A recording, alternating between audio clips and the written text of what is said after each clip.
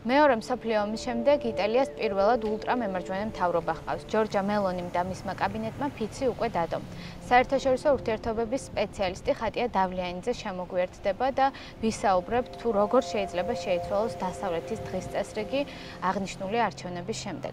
ხატია გამარჯობა, მადლობა ინტერვიუზე თანხმობისთვის და საუბარი უნდა დავიწყოთ სწორედ სექტემბერში გამართული არჩევნების, იტალიაში გამართული არჩევნების შესახებ. და ახალი კოალიციური მთავრობის შესახებ თუ როგორ დაკომპლექტდა მთავრობა და ერთგვარად ვინ ვინ არის და შეგვიძლია უშუალოდ ჯორჯა მელონის პერსონის შესახებ დავიწყოთ ერთგვარად საუბარი. მოგესალმებით. პირველ რიგში მადლობა მოწვევისთვის, რაც შეეხება იტალიის საპარლამენტო არჩევნებს. 25 სექტემბერს იტალიის საკანონმდებლო ორგანოს არჩევნები ჩატარდა, რომელშიც ხმების უმრავლესობა მემარჯვენე ალიანსმა მოიპოვა. მემარჯვენე ალიანსის წევრებს შორის კი ყველაზე მეტი პირდაპირ ხმა მოიპოვა პოლიტიკურმა გაერთიანებამ იტალიის ძმები.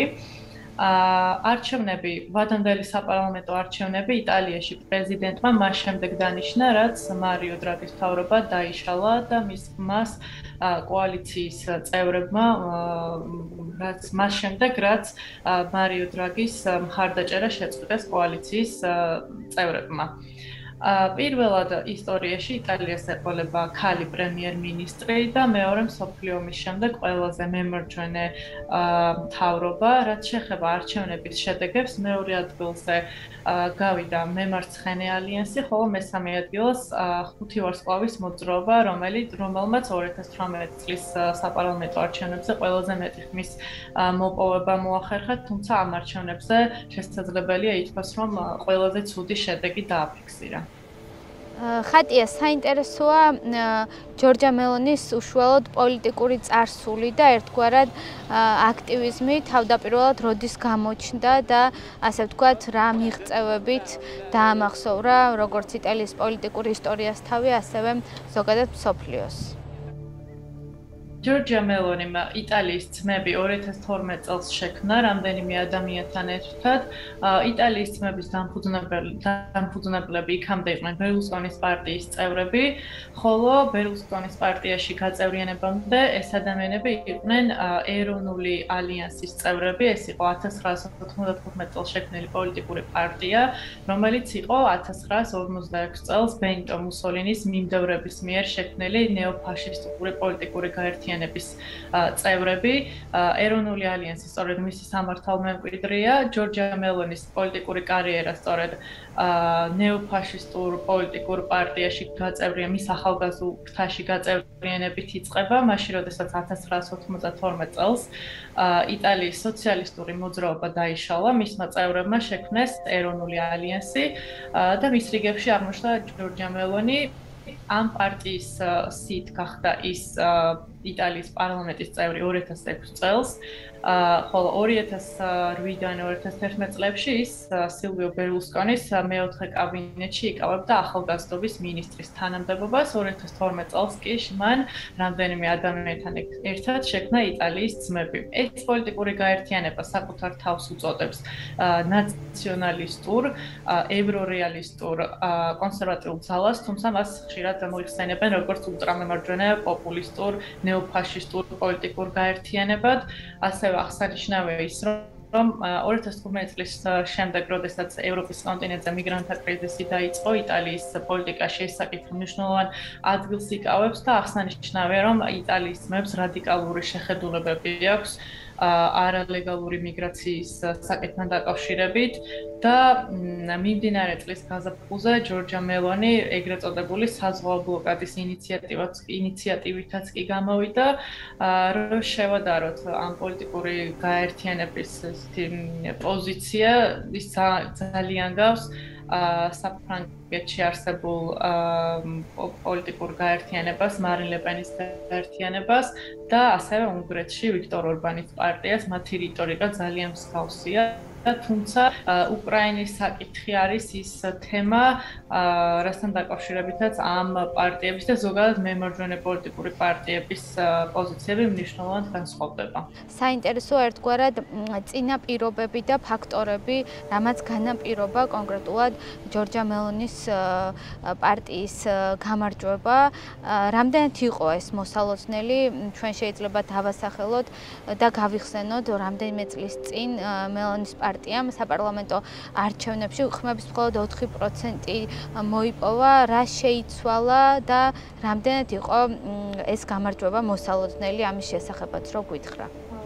იტალიის პოლიტიკაში 1994 წლიდან, როდესაც კორუფციული სკანდალების სერია მოიცო ქვეყანა და ამ ყველაფერმა გამოიწვია ხუთი მთავარი პოლიტიკური პარტიის გაქრობა, ამ პერიოდიდან მოყოლებული მემარჯვენე ფლანგზე არის ორი ძირითადი პარტია, ეს არის სილვიო ბერლუსკონის ფორსა იტალია და სალვინის ლიგა.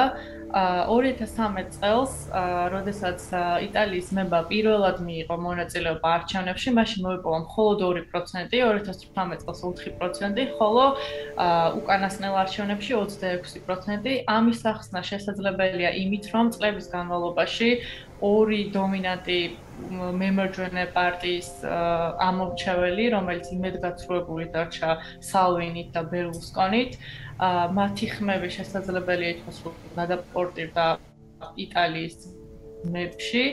და ამ ყველაფერმა გამოიწვია მისი მხარდაჭერის ზრდა. ასევე მნიშვნელოვანი მომენტი იყო ის, როდესაც 2021 წელს, როდესაც მარიო დრაგი მთავრობის ფორმირებასთან დაკავშირებით მოლაპარაკებებს აწარმოებდა და მის კოალიციაში როგორც ცენტრისტული, ასევე მემარჯვენე და მემარცხენე პოლიტიკური პარტიები გაწევრიანდნენ, მელონმა ამ კოალიციაში გაწევრიანებაზე უარი განაცხადა და სწორედ ამ პერიოდიდან მოყოლებული მისი მხარდაჭერა მნიშვნელოვნად გაიზარდა და იტალიის იტალიის მოსახლეობის თვალში მან დაიმკვიდრა ერთგვარი ესეთი თანმიმდევრული და ყველაზე პრინციპული პოლიტიკოსის სახელი.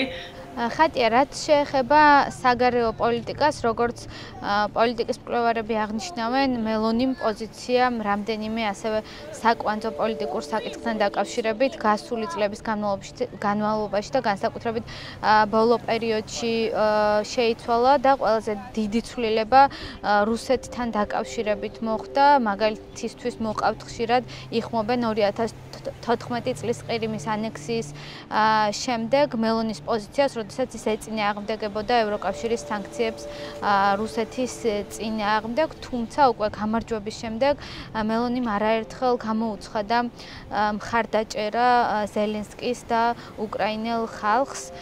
შესაბამისად, საინტერესოა, რას მიეწერება მსგავსი ცვლილება, შესაძლოა ეს იყოს დასავლეთისთვის სანდოობის საჩვენებლად გადადგმული ნაბიჯი თუ რასთან გვაქვს მოკლედ საქმე. ჯორჯია მელონი მნიშვნელოვნად შეიცვალა საგარეო პოლიტიკური ხედვა ბოლო წლების განმავლობაში. ჯერ კიდევ მაშინ, როდესაც 2014 წელს ყირიმის ანექსიის შედეგად ის ჯერ კიდევ მხარს უჭერდა რუსეთთან ურთიერთობების გაუმჯობესებას და რუსეთთან მეტ დაახლოებას. ა უკრაინის უკრაინაში დაწყებული ომის შემდეგ კი მისი რიტორიკა შეიცვალა. ის არის ერთ-ერთი ყველაზე მტკიცე მხარდამჭერი ამჟამად ევროპის კონტინენტზე უკრაინის.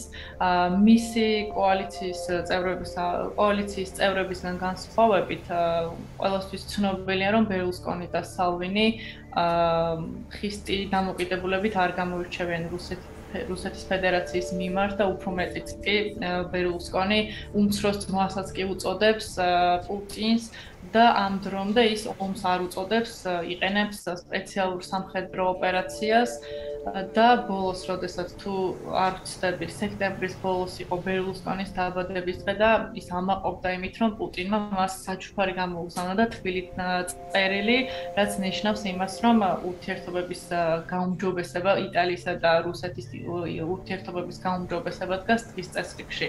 მათგანაც რადიკალურად განსხვავებული შეხედულება აქვს მელონს და ის ომის დაწყების დღიდან აცხადებს, რომ მტკიცედ უჭერს მხარს უკრაინას, ის ემხრობა უკრაინისთვის იარაღის გადაცემას ბერლუსკონისგან და სალვინისგან განსხვავებით, ასევე სალვინი აღსანიშნავია, რომ ყირიმის ანექსიის შემდეგ საერთოდ ეწინააღმდეგებოდა რუსეთის ფედერაციისთვის სანქციების დაწესებას. მიუხედავად იმისა, რომ ეს სამი პოლიტიკური გაერთიანება ულტრამემარჯვენე პარტიად მოიაზრება, თავარი განმასხვავებელი ნიშანი, მათ თავარი განმასხვავებელი საკითხი ეს არის საგარეო პოლიტიკური კურსი. მას შემდეგ რაც 22 ოქტომბერს მელონ ფიცი დადო ახალ კაბინეტ ახალი ახალ შემოქმედებასთან ერთად, რაც შეეხება მინისტრებს, 9 მინისტრი დაინიშნება, დაინიშნა იტალიის პოლიტიკური გაერთიანება იტალიის ძმებიდან, ხოლო 5-5 ფორსა იტალიიდან და ჩრდილოეთის ლიგი მხრიდან, ასევე აღსანიშნავია ის, რომ საგარეო საქმეთა მინისტრის პოსტს ჩაიბარებს ანტონიო ტაიანი. მან მთელი თავის პოლიტიკური კარიერა შესაძლებელი ითქვას, რომ ბრიუსელში გაატარა და ის ჭიდროდ უჭერს მხარს ევროპულ ინტეგრაციას, მიუხედავად იმისა, რომ ის იტალიის პოლიტიკაში 1994 წლიდან იმყოფება და ძალიან ახლო ურთიერთობა აქვს ბერლუსკონთან, არ არის მოსალოდნელი, რომ მომავალი საგარეო საქმეთა მინისტრი ხის მომავალ საგარეო საქმეთა მინისტრ ხისტი პოზიცია ექნება უკრაინის მიმართ და მხარს არ დაუჭერს ის დაუშვათ უკრაინისთვის იარაღის გადაცემას. დაიწყეთ საუბარი სწორედ ბერლუსკონის კავშირებისა და ღია სიმპათიის შესახებ პუტინის მიმართ და აღსანიშნავია რომ ბერლუსკონისა და მელონის შორის ერთგვარად მედია საშუალებებით გავრცელებული ინფორმაციის თანახმად ერთგვარი უთანხმოება იყო სწორედ საგარეო პოლიტიკასთან დაკავშირებით გახდით და მელონის განცხადებით, სწორედ ვინც იტალიის დასავლეთთან ყოფნას არ ემხრობა, მთავრობაში ვერ იქნება, ასე მიმართა ბერლუსკონს და მელონი ასევე ხაზი გაუსვა, რომ იტალიის ახალი მთავრობა უკრაინაში მიმდინარე ომის ფონზე იქნება ნატოს და ევროკავშირის ძლიერი მხარდამჭერი. შესაბამისად, საინტერესოა ეს კოალიციური მთავრობა, კავშირები და უშუალოდ თანამშრომლობა ბერ ბერლუსკონთან როგორ შეიძლება გაგრძელდეს და ასევე ნატოსთან და ევროკავშირთან სამომავლო პერსპექტივა როგორ შეიძლება კონდეს იტალიის მთავრობას. მიუხედავად იმისა, რომ იტალიის ძმების პოლიტიკური გაერთიანება შექმნის დღიდან ევროსკეპტიკური განცხადებებით გამოირჩევა, გამომდინარე იქიდან, რომ იტალიას აქვს სერიოზული ეკონომიკური პრობლემები, COVID პანდემიით გამოწვეულ კრიზისს გულისხმობ, ასევე ენერგოკრიზისი, რომელიც ამჟამად ევროპის კონტინენტზე არის. ამ ყველაფრის გათვალისწინებით ნაკლებად სავარაუდო არის, რომ ამ პოლიტიკურმა გაერთიანებამ ევროსკეპტიკური განცხადებები გააკეთოს გამომდინარე იქიდან, რომ ევროპის კავშირის ფინანსური დახმარება მისთვის ძალიან მნიშვნელოვანი არის. შესაბამისად, მოსალოდნელია, რომ ახალი კაბინეტი გააგრძელებს თავის წინამორბედის მარიო დრაგის საგარეო პოლიტიკურ კურსს და მჭიდროდ დაუჭერს ნატოსა და ევროპის კავშირის მხარს და ზოგადად ევროპულ ინტეგრაციას, რაც შეეხება კოალიციის წევრებს შორის ურთიერთობას. უნდა ითქვას ის, რომ ამჟამად ჯორჯია მელონი არ არის კომფორტულ მდგომარეობაში იმის გათვალისწინებით, რომ მისი წევრები, მისი პარტნიორები მუდმივად ასე თქვა ჩასაფრებულ პოზიციაში იქნებიან მელონის მიმართ, რომ მან დაუშვოს შეცდომა, რომ ეს შეცდომა გამოიყენოს საკუთარი პოლიტიკური მიზნებისთვის. და პოლიტიკური მხარდაჭერის გასაზრდელად ასევე გასათვალისწინებელია ის ფაქტი, რომ იტალიაში თავრობების სიცოცხლის უნარიანობის ხანგრძლივობა არის დაახლოებით 1 წელი, 1 წელი და 3 თვე. შესაბამისად, დიდი შანსი არსებობს იმისა, რომ ჯორჯია მელონის ახალ კაბინეტს ძალიან სწრაფად შეექმნას საფრთხე. ხატია საუბრის ბოლოს აუცილებლად უნდა გკითხოთ უშუალოდ საქართველოს-იტალიის სამომავლო ურთიერთობებზე, როგორ შეიძლება გაგრძელდეს ჩვენ ნახეთ პრემიერ-მინისტრის ირაკლი ღარიბაშვილის მილოცვა და მელონის გამოხმაურება ასევე რომ კლავ აპირებენ და გეგმაშია საქართველოსთან ჭიდრო კავშირი პარტნიორული ურთიერთობები. ამ შემთხვევაში რა მოლოდინები შეიძლება იყოს საქართველოს-იტალიის ურთიერთობებს ურთიერთობას შორის.